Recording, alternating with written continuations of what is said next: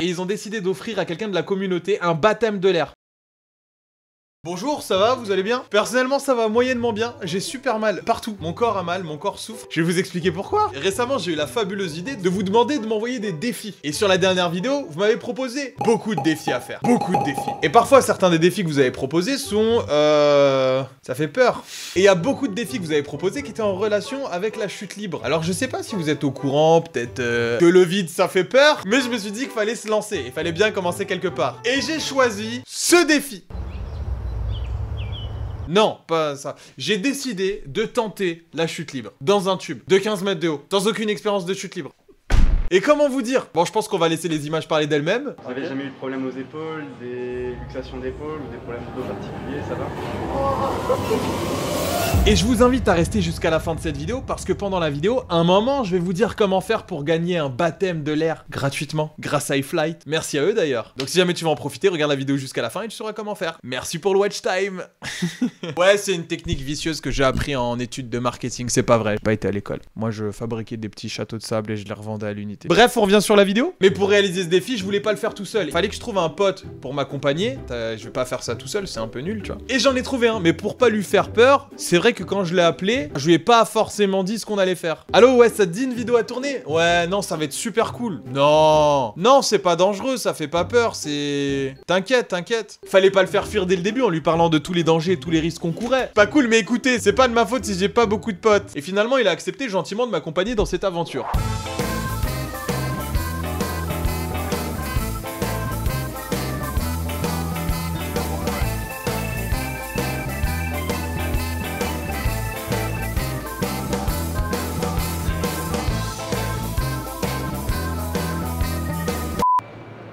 Ouais, du coup, on attend quoi là? Bah, on attend que c'est notre tour. On est arrivé un peu en avance. Tour de quoi? Hein? Hein? Quoi? Tour de quoi? Tour de, tour de l'activité. Mais du coup, c'est quoi? L'activité? Ouais. Ouais, c'est un truc cool, tu vois. Y'a pas du piment là? Non, je te jure, y a pas de pigeon. non, je te jure, ça, ça va être cool, t'inquiète. Sûr Certain. Juste, euh, tu t'es jamais déluxé l'épaule ou démis l'épaule ou blessé les clavicules, n'importe quelconque foulure. Laisse-moi deux minutes. T'es sûr? Peut-être. D'accord. Et du coup, pourquoi? De quoi, pourquoi? Faudrait que tu me demandes si j'ai une blessure ou pas. Non, juste pour savoir si, euh, si ça va. Bah, Si c'est je m'inquiète parce pour un que pote. euh, l'activité c'est dangereux. Non, franchement, tu imagines, Ouais. on saute? Voilà, c'est ça l'activité. Y'a un truc? Il y a de l'air. Et à partir de là, je pense qu'il a bien compris qu'on n'allait pas manger des cookies. Surtout quand il a vu la souffleuse. Ouais, c'est parti, on y va euh, ouais, moyen quand même. Hein. Pourquoi? Mais regarde, il est super bien le centre commercial et tout. Franchement, on va... mais genre, je sais pas, à ma droite. Mais... Ça là? Non, genre tout à droite là. C'est rien ça. Franchement. Tranquille. Franchement, eh, tu sais quoi? On m'a dit, t'inquiète. On fait un petit truc à 7 mètres de hauteur, ça va être euh, pas trop dangereux. T'as pas 7 mètres, c'est pas. Bon, après, il m'a dit peut-être on monte à 14. Y'a une différence entre 7 mètres et 14 Bah, c'est le double. On a fait la connaissance de Maxime, c'était notre moniteur pour ce premier baptême de l'air, et franchement, il nous a grave mis en confiance. C'est la première fois, on n'a jamais fait, et on s'est dit pourquoi pas. Ok, donc on va procéder à, à l'enregistrement. Vous avez Ok. jamais eu de problème aux épaules, des luxations d'épaule ou des problèmes de dos particuliers, ça va? Ça va Ok, allez venez, on va, on va s'enregistrer. Franchement, j'étais grave en confiance. En vrai, c'est à ce moment-là où j'ai réalisé que ce qu'on faisait, c'était peut-être un peu plus dangereux que ce que je pensais dans ma tête. Au début, je me suis dit, ça va, tranquille, c'est que de l'air, ça peut pas tuer. Vous avez jamais eu de problème aux épaules, des luxations d'épaule ou des problèmes de dos particuliers, ça va Apparemment, il y a quand même des consignes à respecter avant de se lancer dans cette aventure. Mais en vrai, ça allait. Ce qui m'a vraiment rassuré, c'est quand on a dû signer une décharge de responsabilité. non, ok, j'étais pas rassuré du tout. Adresse email. Ça veut demander quelques informations, une adresse email, une personne en cas de contact. Je me suis dit, ok, c'est plus une activité, c'est un sport, et ça a l'air d'être un sport extrême. En termes d'expérience de sport extrême, euh, moi je m'arrête au roller. Peut-être le snowboard au maximum, mais c'est tout. Ce genre de sport, c'était une première pour moi. Pour Kirito aussi d'ailleurs, le, le pauvre. C'est grand quand même. À 14 mètres quoi. Mais genre 14 mètres si tu tombes. À ton avis, tu te casses genre une cheville, un truc comme ça? Moi je me dis, si tu te cognes la tête contre la vitre, comment ça tu fais comment genre? Moi je me dis, imagine le vent il se coupe et tu tombes sur les pales. Est-ce que eux ils vont payer si on meurt? C'est ça la vraie Moi je question. te un jeu pour moi. Comment c'est immense Au début, quand on m'a proposé l'activité, je me suis dit tranquille, c'est quoi? Il y a un peu de vent, on va s'envoler, ça va être cool. C'est comme sur l'autoroute, t'as la fenêtre ouverte, t'as le vent, t'as- c'est ça, tu sais, quand tu mets ta main et t'es- Non, 200 km/h le vent. Ouais, 200 km/h, 14 mètres de haut. Moi, je pense qu'on va y arriver. Il n'y a pas de raison qu'on n'y arrive pas. hein. De toute façon, euh, on est là pour ça. Eh, les perdants, du coup. Je voudrais encore remercier le site eFly qui nous accueille ici. Ils sont vraiment cool. Et vous allez voir, il y a quelques surprises pendant la vidéo qui sont réservées. Et cette fois, c'est pas que des surprises que pour nous, c'est aussi des surprises pour vous. Donc, restez jusqu'à la fin de la vidéo. Deux minutes d'effort, t'auras mal aux épaules et tout ça. Courbature et tout. On va voir. Hein. Eh, tu sais quoi, ça se trouve, on est fait pour ça et ça va rien nous faire. Imagine, on est dans le truc. Et là, tout d'un coup, tu fais un faux mouvement et tu commences à faire la toupie infernale et ça s'arrête plus jamais. Bah tu vomis quoi. Ouais mais c'est tout en vert mec hein. Je t'ai dit il faut tout relaver après. Et en plus j'ai mangé un Ah non, couscous à midi. Il y a le casque plus le masque. Ah du coup on vomit dans le... Du coup tu vomis. Ah c'est dur. hein. Bon bah ça va être sympa tout ça. Ensuite on nous a donné nos équipements de sécurité et on a enfilé nos tenues de sportifs de l'extrême. V'là le style mon gars. Non c'est faux.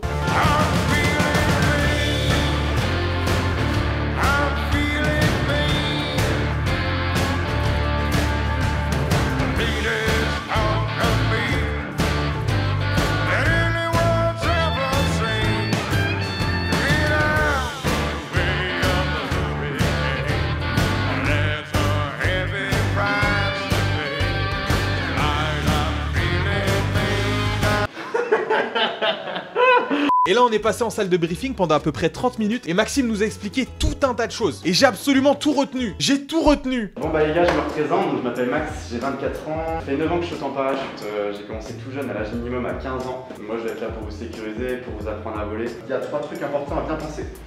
Dans un premier temps, on va penser à lever la tête. Ok, si on regarde en dessous, bah on peut pas voir là où on vole. Deuxième point, on va allonger les jambes. Vous avez les jambes pliées au niveau des fesses, ce sera très compliqué de voler au début. Donc hop, on essaye d'allonger la pointe de pied et de tendre les jambes. Troisième point, les mains au niveau des yeux, on fléchit les coudes, on écarte les doigts. Si je fais un faux mouvement et je commence à partir en toupie, comment je m'arrête? Serai là pour t'arrêter. Merci. Ensuite, dans la soufflerie, bah, il y a beaucoup de bruit, donc je vais pas pouvoir vous dire allonge les jambes, lève la tête. Euh, je vais utiliser quatre signes tout simples, là, ils sont sur les murs. Le, le meilleur conseil que je peux vous donner au début, c'est vraiment de, de rester calme et de ne pas bouger votre corps. Ok. Euh, pour entrer dans la soufflerie, c'est super simple. On écarte un peu les jambes, on lève la tête et on met les mains au-dessus de la tête. Moi, je vous dis ok, et là, on va se laisser tomber en avant, en levant bien la tête pour arriver directement en position de vol. Oh c'est dur comme Ouais, c'est très dur. Et là, il va falloir que tu tires bien la pointe de pied vers le haut. Et il faut tenir deux minutes comme ça. Alors, c'est très très dur. Ah, relâche, relâche, relâche. Oh Dans la soufflerie, c'est super simple. D'accord. Oui ouvre les doigts aussi, je l'ai pas précisé. Essaye de fléchir un petit peu. Et on écarte les jambes. Ok. Du coup j'ai une question par exemple si on sent pas bien ou un truc comme ça. Il y a, un- il y a un truc spécial ou- Ouais, il y a un signe, normalement c'est les filles qui demandent ça. si jamais vous sentez mal, ou si vous, voilà, vous avez peut-être des douleurs au niveau des épaules ou du dos, donc faites ça, et on va sortir directement de la soufflerie. Enfin, je vous sors directement de la soufflerie. Il s'est éclaté le genou juste avant le début.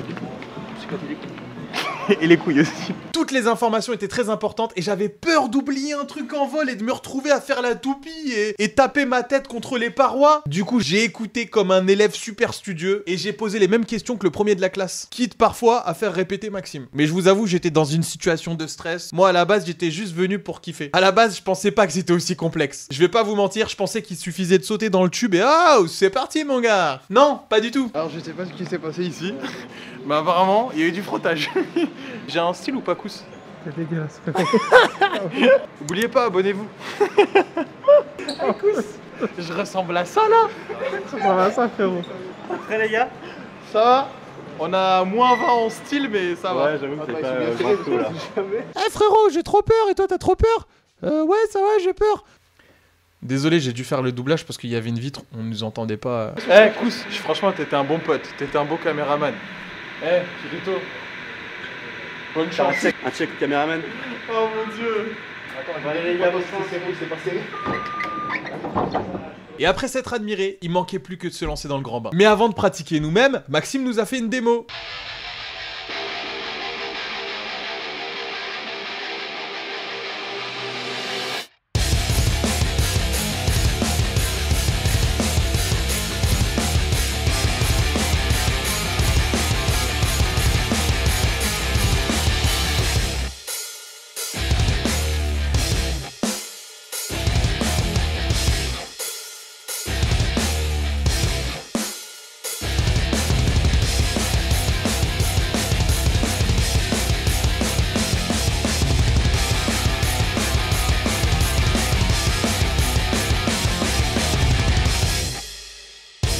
Bon, je vous avoue, c'est impressionnant. Surtout quand t'es juste en face. Et dans ma tête, je me suis dit, mais jamais je vais réussir à faire ça. Effectivement, pour un débutant, c'est pas possible. Je pense que ça nécessite énormément d'heures de vol pour pouvoir pratiquer ce genre de figure. Et là, c'était à notre tour. Je me remémore les derniers conseils. Lever les bras, tendre les jambes, sauter.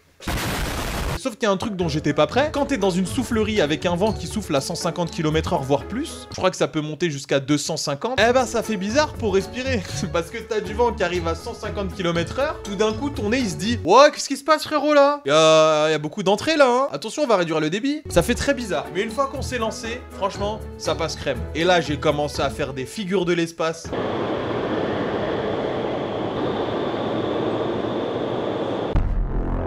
Bon, j'avoue, c'est un peu ridicule, mais c'est tout à fait normal. Quand tu fais un baptême, le moniteur est obligé d'être avec toi pour t'indiquer quoi faire et surtout pour te sécuriser, c'est très important. C'est lui qui va te dire si tu dois tendre les jambes, plier les bras, relever la tête, ouvrir la braguette. Hein, quoi Il va être là pour te diriger dans les airs. Et s'il voit que t'es à l'aise, il va commencer à te donner un peu plus de liberté.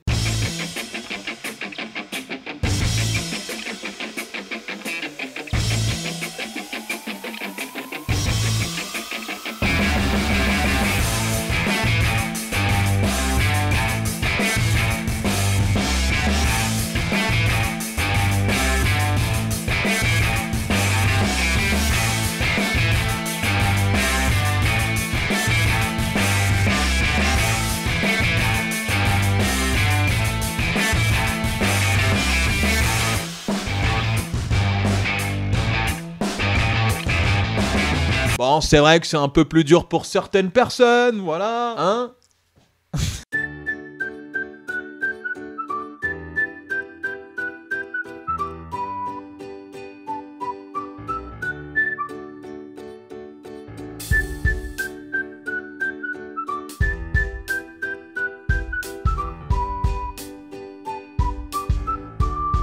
On n'a pas tous le talent d'un mec qui vole dans le ciel, quoi. Voilà, je vous ai déjà dit que mon deuxième nom c'était Skywalker.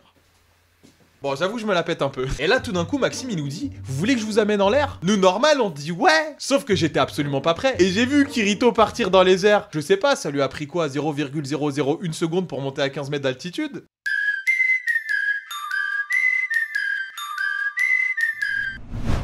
Ah ouais, ça va vite quand même et ça tourne. Hein. Non, parce que moi, de base, j'ai le mal des transports. Je monte dans un carrousel, j'ai envie de vomir. Mais finalement, ça s'est super bien passé.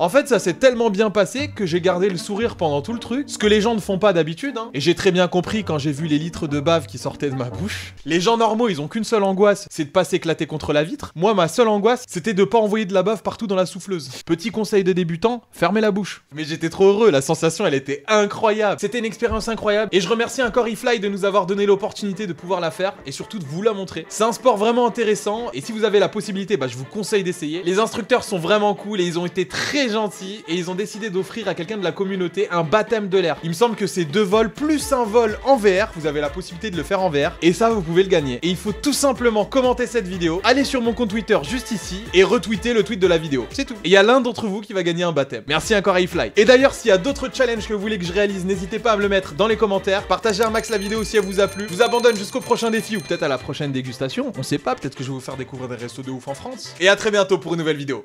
Bye